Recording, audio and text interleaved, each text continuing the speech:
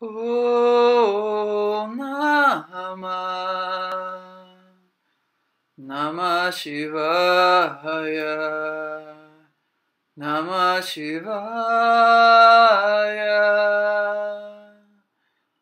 Hare Hare. Namah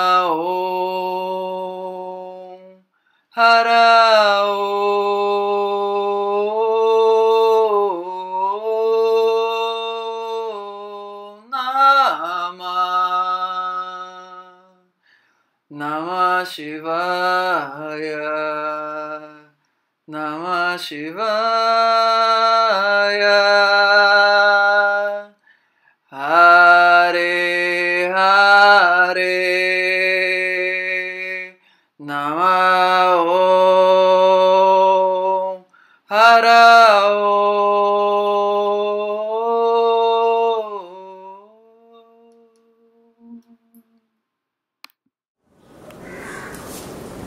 ॐ सहना भवतु।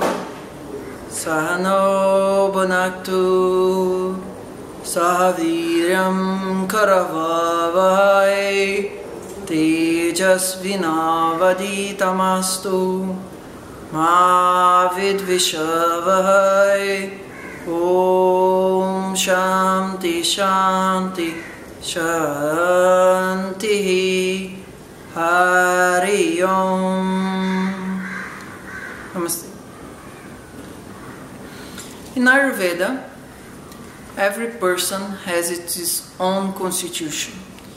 It can be mainly um, Vata, Pitta, Kapha. It can be dual. It can be. It's it's not so common, but it can be with the three energies very alike in proportion.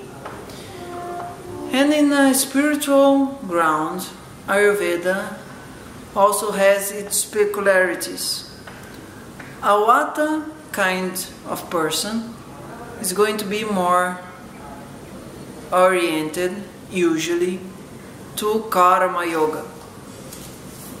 Karma Yoga means that your sense of fulfillment is going to come mainly by action, serving another pe- another persons, serving the country, serving people.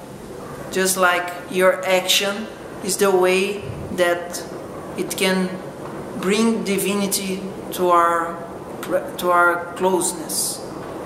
Like the Franciscans, like people that do Red Cross uh, medical people like uh, Madre Teresa, all the people that say, Man, I don't want to think so much, I don't want to pray so much, I want to work to serve people.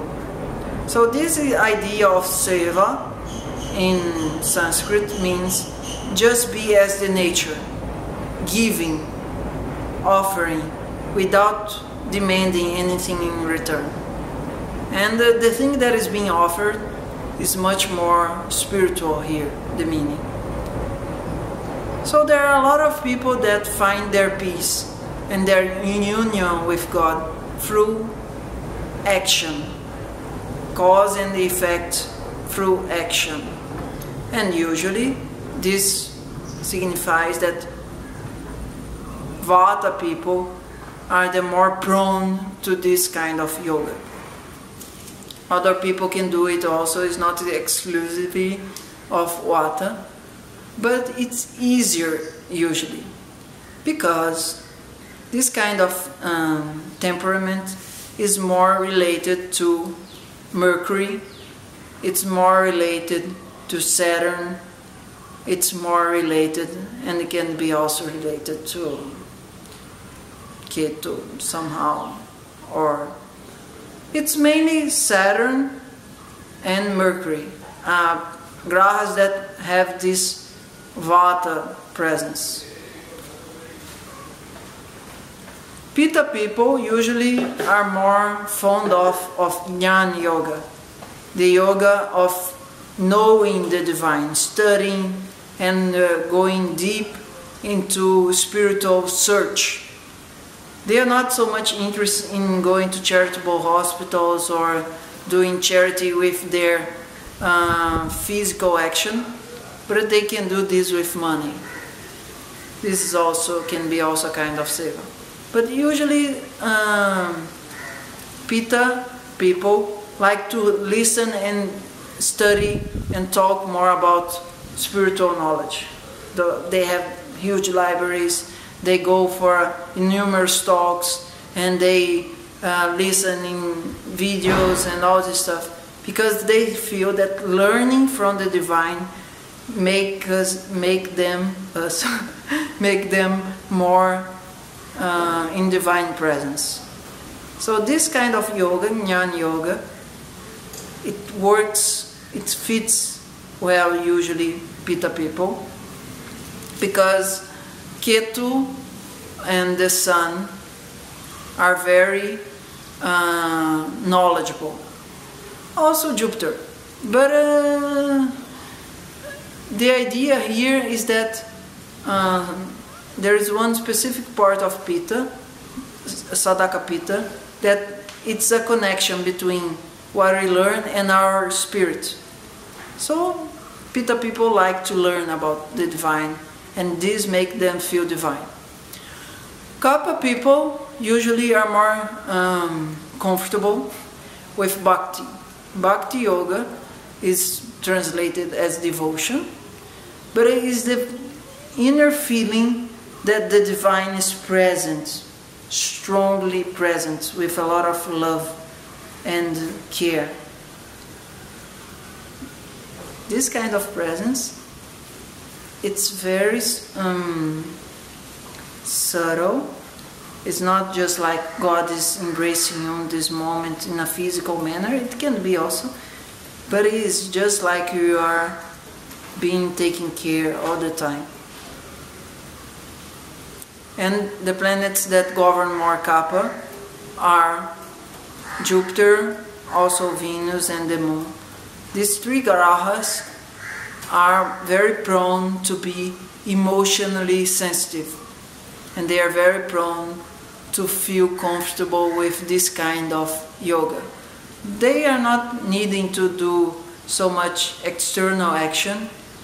Praying is the main uh, road, the main channel for Kapha people to connect with the divine. All these three types of yoga are described by Sri Krishna in Bhagavad Gita, and there are other types of yoga also. But uh, in a synthetic manner, we can say that not Patanjali's view about one uh, making his life a practice of yoga, these three trends of yoga can make every person comfortable with the idea of living spiritually, uh, going in moving into uh, divine presence. This is very beautiful and also very it's a, a big treasure from yoga tradition to mankind. Namaste. If you wanna have online consultations, please contact my email namaste.tiago at gmail.com. Namaste!